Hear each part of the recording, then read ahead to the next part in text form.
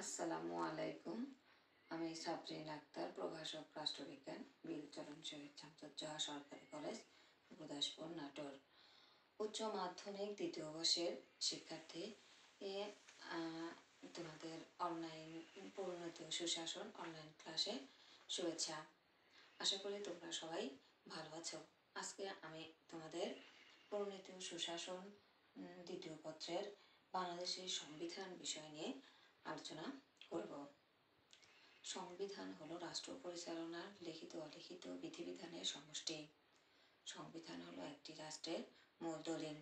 সংবিধানে একটি রাষ্ট্রের শাসিতের, শাসকের ক্ষমতা, শাসিতের অধিকার কর্তব্য অধিকার কর্তব্য এবং উভয়ের সম্পর্কের প্রকৃতি সুস্পষ্টভাবে লেখা থাকে। সংবিধান লিখিত, অলিখিতের উপর ভিত্তি করে দুই প্রকার লিখিত সংবিধান, অলিখিত সংবিধান সংশোধনের উপর ভিত্তি করে সংবিধান দুই প্রকার, সংশোধন দুষ্পরিবর্তনীয় সংবিধান, সুপরিবর্তনীয় সংবিধান।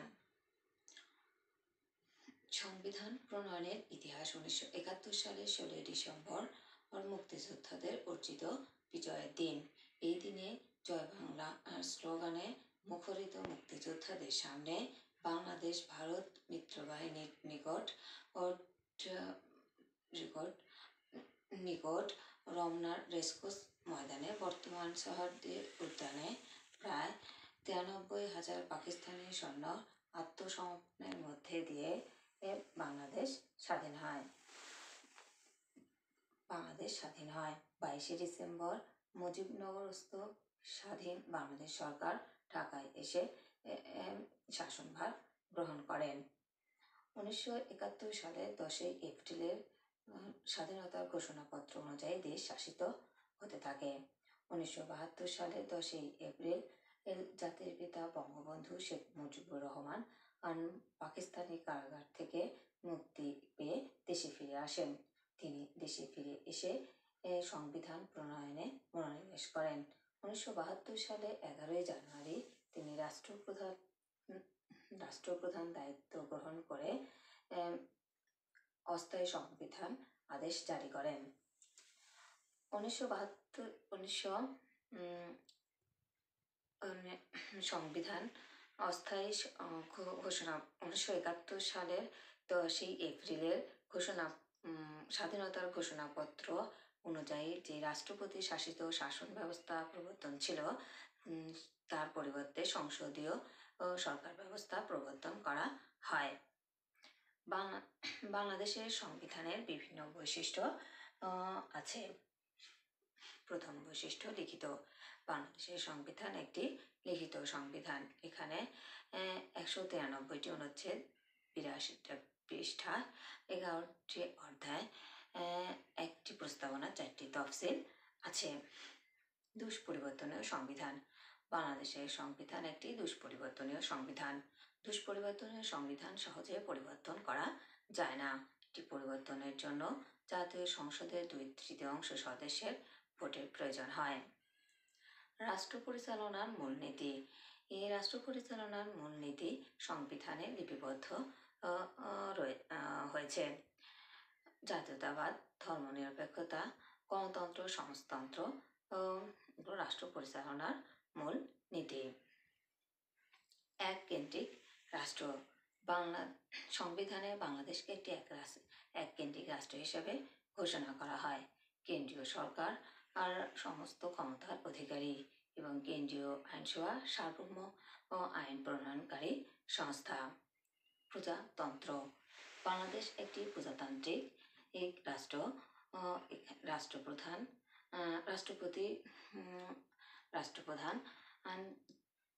রাষ্ট্রপতি, রাষ্ট্রপ্রধান তিনি রাষ্ট্রপতির নামে সকল ক্ষমতা রাষ্ট্রপতির নামে দেশ পরিচালনা দেশের শাসন কার্য পরিচালিত হয়ে থাকবে। তিনি জাতীয় সংসদ কর্তৃক জাতীয় সংসদের সদস্য কর্তৃক নির্বাচিত হবেন এক, উম, সংসদীয় গণতন্ত্র বাংলাদেশের সংবিধানের আরেকটি গুরুত্বপূর্ণ গুরুত্বপূর্ণ বৈশিষ্ট্য হলো সংসদীয় গণতন্ত্র। প্রধানমন্ত্রীর নেতৃত্বাধীনে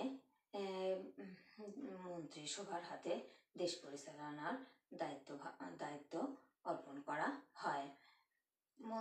জাতীয় সংসদ জাতীয় সংসদ সমস্ত সমস্ত ক্ষমতার উৎস। মন্ত্রিসভা তার কাজের জন্য একক ও যৌথভাবে জাতীয় সংসদের নিকট দায়ী থাকে।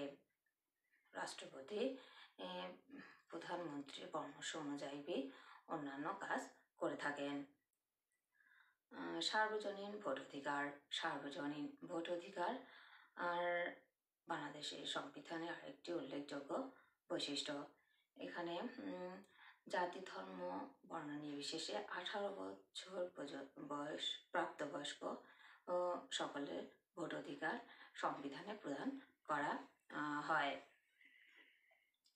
এক এক কক্ষ বিশিষ্ট আইনসভা বাংলাদেশের আর একটি বাংলাদেশের সংবিধানে আরেকটি বৈশিষ্ট্য হচ্ছে এক কক্ষ বিশিষ্ট আইনসভা এখানে আইনসভার নাম জাতীয় সংসদ।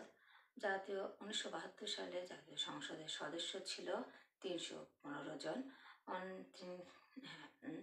আর বর্তমানে জাতীয় সংসদের সদস্য তিনশো পঞ্চাশ জন জন।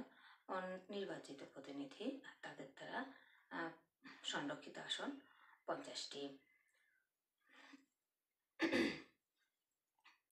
মৌলিক অধিকার, বাংলাদেশের সংবিধানে মৌলিক অধিকার লিপিবদ্ধ করা হয়েছে। জীবন ধারণের অধিকার, চলাফেরার অধিকার, সম্পত্তির অধিকার, আর বাক স্বাধীনতার অধিকার, বিবেক বুদ্ধির স্বাধীনতা ইত্যাদি লিপিবদ্ধ আছে। অর্থনৈতিক ও সামাজিক ন্যায় বিচার, অর্থনৈতিক ও সামাজিক ন্যায় বিচার বাংলাদেশের সংবিধানে সমাজতন্ত্র প্রতিষ্ঠার কথা বলা হয়েছে। কিন্তু শ্রেণি সংগ্রামের কথা বলা হয়নি। এখানে সমাজ সমাজতন্ত্র প্রতিষ্ঠার মাধ্যমে সমাজে ন্যায় বিচারের কথা উল্লেখ করা হয়। দলীয় শৃঙ্খলা বাংলাদেশের সংবিধানে আরেকটি উল্লেখযোগ্য বৈশিষ্ট্য, দলীয় শৃঙ্খলা। যদি কোনো সংসদ সদস্য, যদি কোনো সংসদ সদস্য তার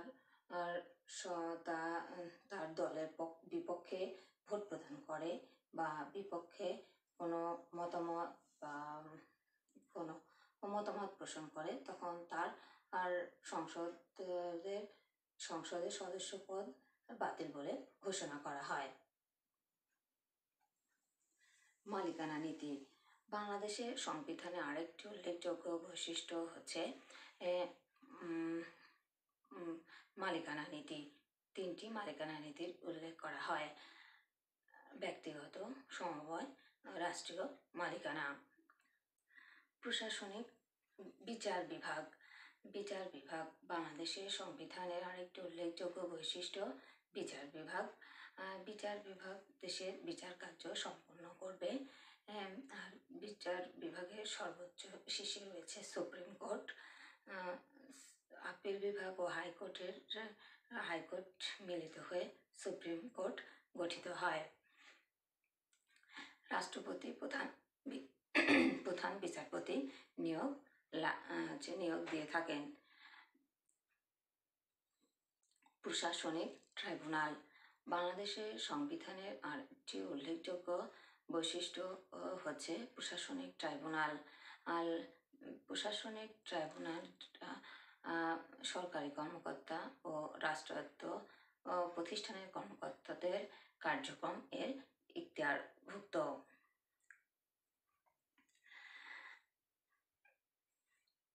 বাংলাদেশের সংবিধানের আর একটি উল্লেখযোগ্য বৈশিষ্ট্য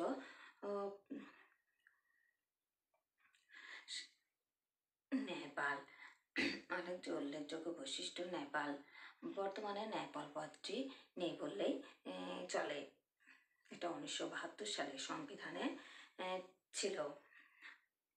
পরে বাংলাদেশের সংবিধানের আর একটি বৈশিষ্ট্য হচ্ছে সংবিধানের প্রাধান্য। এখানে সংবিধান দেশের সর্বোচ্চ আইন, সংবিধানের প্রাধান্য বজায় থাকে। আইন বিভাগ এমন কোনো বা বিচার বিভাগ এমন কোনো বিচার সম্পূর্ণ করতে পারবে না, যেখানে সংবিধানের সাথে অসামঞ্জস্য। তারপরে বাংলাদেশের সংবিধানের আরেকটি উল্লেখযোগ্য বৈশিষ্ট্য হচ্ছে নাগরিকত্ব। এখানে বাংলাদেশের জনগণ বাঙালি হিসাবে পরিচিত এবং বাংলাদেশি হিসাবে জাতি হিসাবে বাঙালি এবং বাংলাদেশি হিসাবে পরিচিত। বাংলাদেশের সংবিধানের আরেকটি উল্লেখযোগ্য বৈশিষ্ট্য হচ্ছে জাতীয় সংগীত। বাংলাদেশের সংবিধানে জাতীয় সংগীত এর কথা উল্লেখ করা হয়েছে। আমার সোনার বাংলা, আর প্রথম দশ চরণ। প্রিয় শিক্ষার্থী বিন্দু, তাহলে আজকে আমরা আলোচনা করলাম পরিণত সুশাসন বইয়ের দ্বিতীয় পত্রের বাংলাদেশের সংবিধানের সংবিধানের প্রণয়নের ইতিহাস এবং বাংলাদেশের সংবিধানের বৈশিষ্ট্য।